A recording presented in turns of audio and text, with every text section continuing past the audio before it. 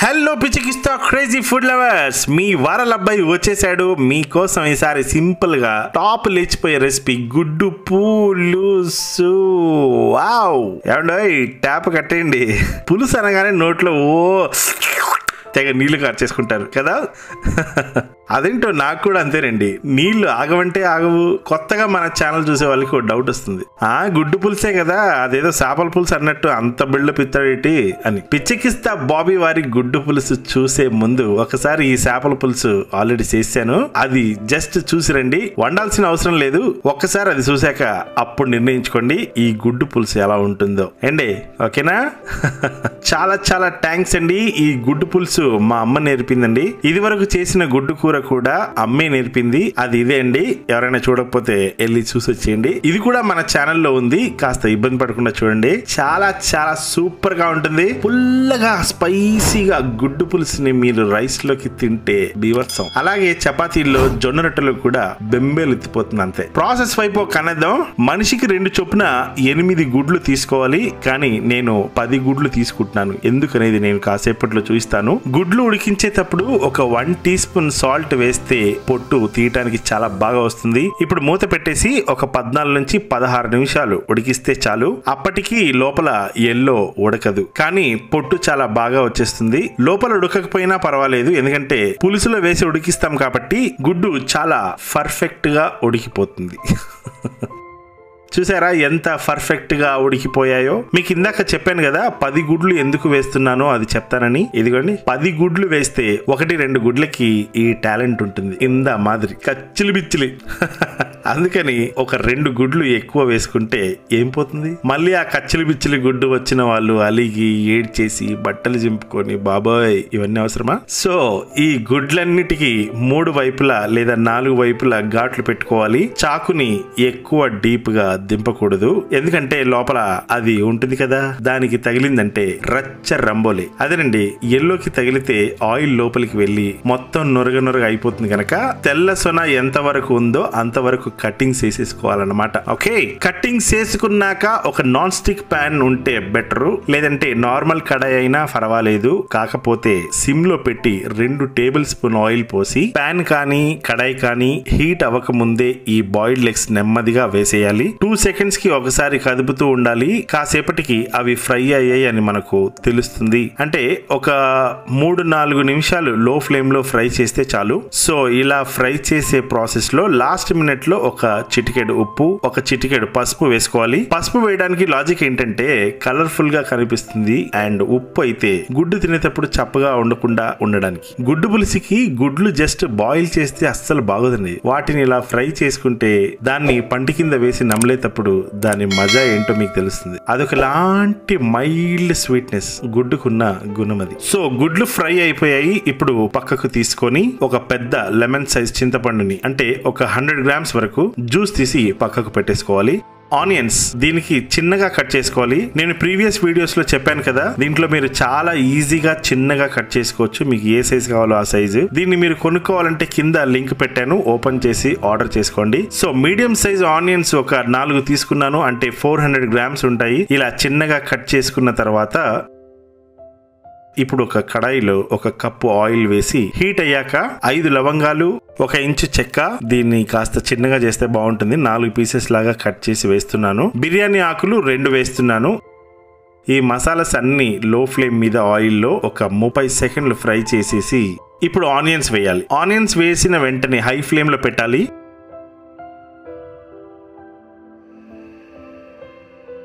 ఒక ఎనిమిది పచ్చిమిరపకాయలు ఇలా సన్నగా చిన్నగా కట్ చేసుకొని ఇందులో వేసేస్తున్నాను.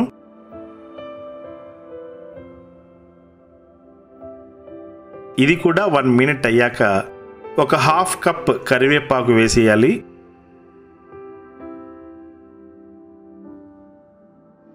మళ్ళీ ఇది ఒక వన్ మినిట్ ఫ్రై అయ్యాక మూత పెట్టేసి మీడియం ఫ్లేమ్లో ఒక మూడు నిమిషాలు అలా వదిలేయాలి. వావ్ స్మెల్ సూపర్ మామా. ఆహాహా సో లైట్గా గోల్డెన్ కలర్ అయ్యాక రెండు టేబుల్ స్పూన్లు ఫ్రెష్గా నూరుకున్న అల్లం వెల్లుల్లి పేస్ట్ ఇందులో వేసి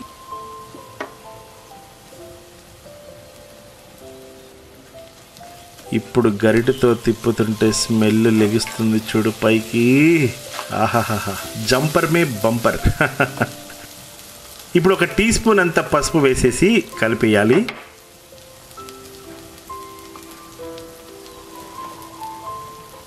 ఇప్పుడు టొమాటోస్ ఒక రెండు మీడియం సైజువి. ఎర్రగా ఉన్న టొమాటోస్ అయితే చాలా బాగుంటుంది. పండుగ ఉండాలి. కచ్చి టొమాటోస్ వేస్తే పులుసు చేదయ్యే అవకాశం ఉంటుంది కనుక ఇంకో విషయం ఏంటంటే అంత చిన్నగా ఎవరు కట్ చేస్తారండి బాబు? సింపుల్గా ప్యూరీ చేసేస్తే అయిపోతుంది కదా అనుకుంటారు కొందరు. పొరపాటున అలా వేస్తే నేను చూపించే టెక్స్చర్ మీకు రాకపోవడమే కాక కిచిడి అవుతుంది కిచిడి. సో నేను ఎలా చూపిస్తున్నానో యాజ్ ఇట్ ఈస్ అలానే చేయండి. బాగోకపోతే అప్పుడు మనం సీక్రెట్గా ఇన్స్టాగ్రామ్లో మాట్లాడుకుందాం. ఇదిగోండి కింద ఐడి ఇదే. సో అక్కడ మాట్లాడుకుందాం. ఓకే? టొమాటోస్ వేసి ఒక ఒక నాలుగు నిమిషాలు లో ఫ్లేమ్లో ఉడికించి ఇప్పుడు ఉప్పు వేస్తున్నాను. ఉప్పు. ఇప్పుడు గుడ్డు ఫ్రై చేసేటప్పుడు కూడా వేసాం కదా అది మర్చిపోవద్దు. కారం పొడి రెండు టేబుల్ స్పూన్ నిండా వేయాలి. వేసి ఇలా కాస్త కలిపేసి ఇప్పుడు ఒక టీ స్పూన్ జీలకర్ర పౌడరు ఒక టేబుల్ స్పూన్ ధనియాల పౌడరు వేసి మళ్ళీ యాజ్ యూజువల్గా కలిపేసుకొని ఫ్రైడ్ బాయిల్డ్ ఎగ్స్ ఇందులో వేసేసి నెమ్మదిగా ఇలా కదపాలి. ఒక వన్ మినిట్ ఈ థిక్ గ్రేవీలో ఈ బాయిల్డ్ ఎగ్స్ మింగిల్ అయ్యాక చింతపండు రసం ఇందులో వేసి ఒక గ్లాస్ నిండా వాటర్ అంటే ఒక టూ హండ్రెడ్ ఎంఎల్ వరకు నీళ్ళు పోసుకొని మొత్తం అంతా కూడా ఈవెన్గా కలిసిపోయి పర్ఫెక్ట్గా ఉంటుంది. ఇప్పుడు హై ఫ్లేమ్లో టూ మినిట్స్ అండ్ మీడియం ఫ్లేమ్లో త్రీ మినిట్స్ మూత పెట్టి కుక్ చేస్తే మటాష్ అంతే ఇక నోట్లో నీళ్ళకి గురుత్వాకర్షణ శక్తి ఎక్కువై అదేనండి గ్రావిటేషనల్ ఫోర్స్ దాని మూలన మీ నోట్లో నుంచి నీళ్ళు డ్రూలింగ్ అయిపోతాయి. కావా మరి? ఇంత యమ్మీగా పుల్లగా నోట్లో వేసుకుంటే ఇలా అనాలనిపిస్తుంది. నిజమా కాదా చెప్పండి? ఇప్పుడు ఉడుకుతున్నప్పుడే కొత్తిమీరలో కర్రల భాగం ఏదైతే ఉంటుందో అది ముందుగానే ఉడుకుతున్నప్పుడే వేసేస్తే కర్రల నుంచి వచ్చే ఆ కొత్తిమీర ఫ్లేవర్ పులుసులోకి మరియు జస్ట్ ఆకులు గార్నిష్కి భలే సెట్ అవుతాయిలే. కొత్తిమీర వేశాక జస్ట్ టూ మినిట్స్ మీడియం ఫ్లేమ్లో పెడితే చాలు. ఎందుకంటే గ్రేవీ చిక్కబడింది కాబట్టి. ఈ గుడ్డు చూసారా?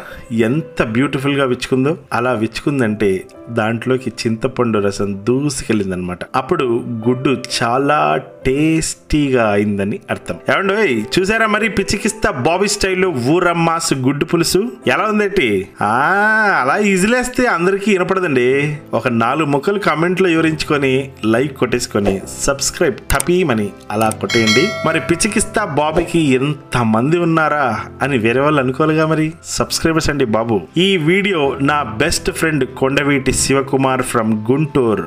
వాడికి ఇది డెడికేట్ చేస్తున్నాను. ఎందుకంటే మేమిద్దరం మా పదిహేనేళ్ళ ఫ్రెండ్షిప్లో సినిమా ఇండస్ట్రీలో కెరియర్ స్టార్ట్ చేశాక వాడు నేను బ్యాచిలర్గా ఉన్నప్పుడు ఎక్కువ చేసుకున్న రెసిపీ ఇదే. ఇప్పుడు ఎక్కడున్నాడో సుంట తెలియదు కానీ ఈ గుడ్డు కూర అంటే పడి సచ్చేవాళ్ళే గతంలో నేను అమ్మ నేర్పిన గుడ్డు కూర చెప్పాను కదా అది చూపిస్తే నన్ను కిడ్నాప్ చేయొచ్చు. అలాగే నా ఫ్రెండ్ శివాని కూడా కిడ్నాప్ చేయాలంటే ఈ రెసిపీ చేసి చూపిస్తే చాలు. ఓకే నా లవర్స్ పిచ్చెక్కిస్తా స్వీట్ సిస్టర్స్ అండ్ బ్రదర్స్ మీకోసం ఒక పాట వేసుకుంటున్నాను. వినేసుకోండి సరదాగా. కొత్త వాళ్ళు సబ్స్క్రైబ్ చేసుకోవడం మర్చిపోవద్దు ఓకే? దుమ్ దుమ్ చిక్ చి దుమ్ దుమ్ ద చిక్ చిక్ దుమ్ దుమ్ చిక్ చి దుమ్ దుమ్ ద చిక్ చిక్ సంధ్యా రాగపు సరిగమలో తొలి కలయికలు సాయంకాలపు చలి చలి ఊహల పకపకలు డోరే మీ రాగాల జోరే మీ దాసాగా నా ప్రేమ నీ మీద శృతి కలిసిన సంధ్యారాగపు సరిగమలు తొలి కలయికలు. సాయంకాలపు చలి చలి ఊహల పకపకలు. చినుకు చినుకు నడుములో చిలకలులికి పడెనులే హో కనుల కనుల నడుమలో కలల సుడులు తిరిగిలే. పెదవి పెదవి తడుపులో వలపు మధువు తుణికిలే హో తనువు తనువు కుదుపులో తమకమొకటి మెరిసెలే. సంధ్యలో తారలాగా స్వప్నమైపోకుమా? కన్నెలో సూయగాలు కంటితోనే తాగుమా? హంసలా